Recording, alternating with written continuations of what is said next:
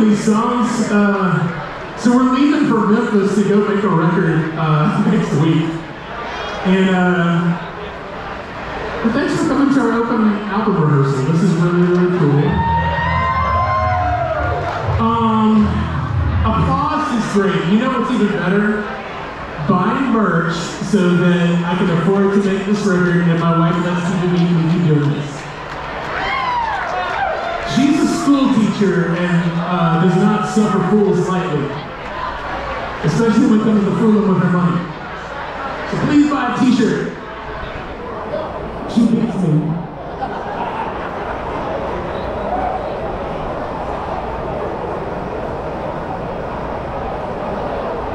Hey, you just want to do it for you, your team member, you indulge me for a second? This is a song about bad decisions in bars and drinking. This is still a Mike to the Moon Pie show, despite all of our garage rock.